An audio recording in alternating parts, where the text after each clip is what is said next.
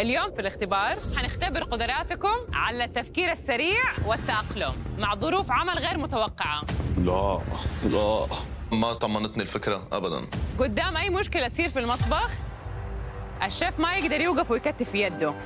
المطلوب منكم في الاختبار تختاروا عشر مكونات من مخزن توب شيف لإعداد أطباقكم. معاكم دقيقة ونص عشان تجيبوا الأغراض من المخزن. ووقتكم يبدأ.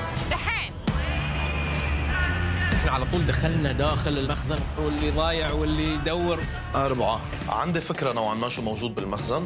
فقلت رح نقي مكونات برتاح أشتغل فيها كثير وبعرفها بتلبق مع بعضها هذه ثلاثة. خمسة.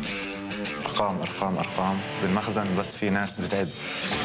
كان أخذ وكان حسب 10 مكونات ما ناخذش أكثر ولا أقل. باقي دقيقة. بصل أبيض ثمان تسعة. قلت لازم اخذ 10 مكونات أقدر أطلع منهم طبق الترتار بتاع التونة. يكون متجانس. باذنجان تمام. عشرة. عشرة. تسعة. ثمانية.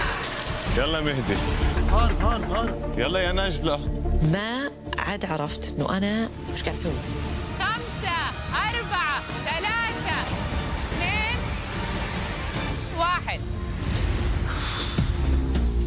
خلص الوقت في شيء ناقص. نسيت مكون.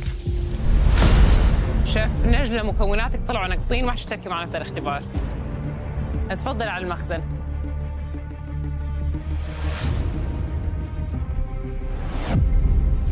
شيف نجلاء كأنها مسجونة في حبس انفرادي داخل المخزن. شيفس حطلب منكم تتخلوا عن خمسة مكونات من اللي اخترتوهم. شيف خمسة اللي ما بستخدمهم خمسة ما تبغاهم. نتخلى عن خمس مكونات إنزين ليش؟ راح تكون صعبة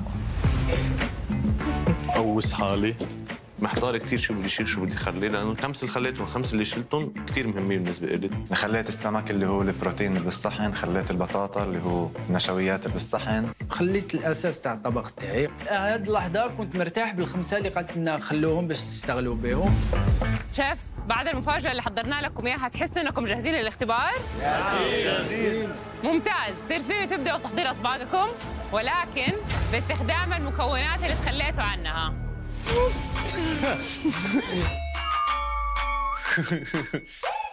اوه ماي جاد كلنا بنطل في بعض وبنضحك. في شيف عندها مكونات ما يتعامل فيها صحن أنا عندي بصلة واحدة. وتوابل كركم والبابريكا وزعفران اقر اقر المكونات اللي هما ما كيتجمعوش. أش غنخدم؟ افوكا حار أناناس زبدة. هاي الشيء صدق قاعد يصير. مستحيل. وطبعا اتخضيت لأن خمس مكونات اللي أنا شلتهم ما كانتش حاجات أساسية.